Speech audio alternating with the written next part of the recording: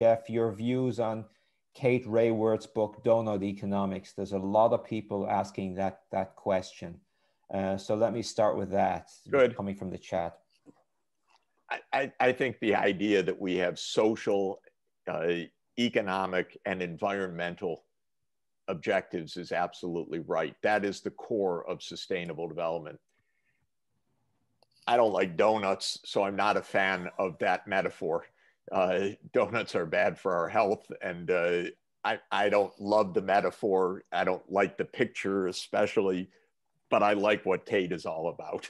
Uh, and I, I like the book, but I don't like donut economics because I just think it takes us a, a little bit away from uh, from how I personally would would like to package this same idea.